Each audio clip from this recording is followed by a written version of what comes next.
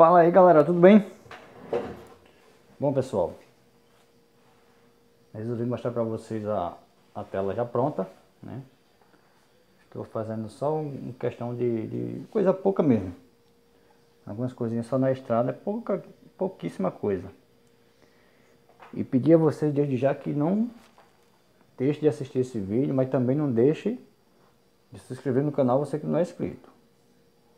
Para que você possa estar me ajudando aí. Bom galera, essa tela aqui ela é uma obra própria, né? Não segui referência de ninguém. Aqui eu desenhei no papel, esquadrejei direitinho e passei para a tela. Né?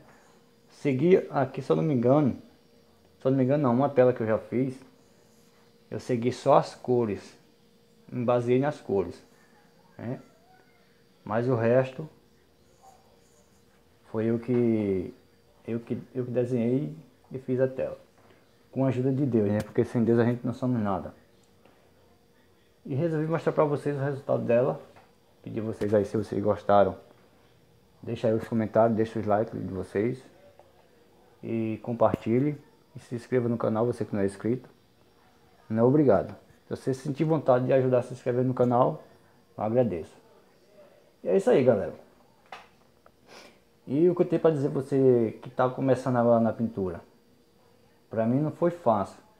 Aliás, para pintor nenhum, quem está começando, não é fácil você pintar uma tela sem referência nenhuma. Né? Não é fácil. É... Mas também não é difícil. Tudo é a gente praticar, ter força de vontade e seguir em frente em busca do que você quer. E é isso que eu quero. O meu tempo também é curto, porque eu não, eu não vivo só da pintura, eu trabalho, tenho um trabalho por fora também.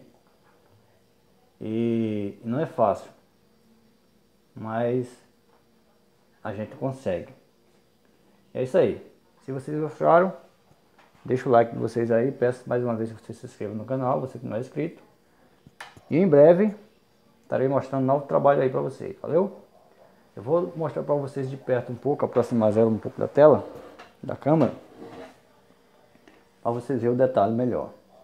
Eu achei que ficou legal. Eu quero que vocês deixem os comentários de vocês aí, para você ajudar o canal.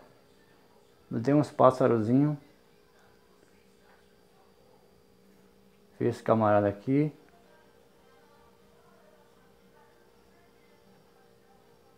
Esse, esse tronco aí quebrado.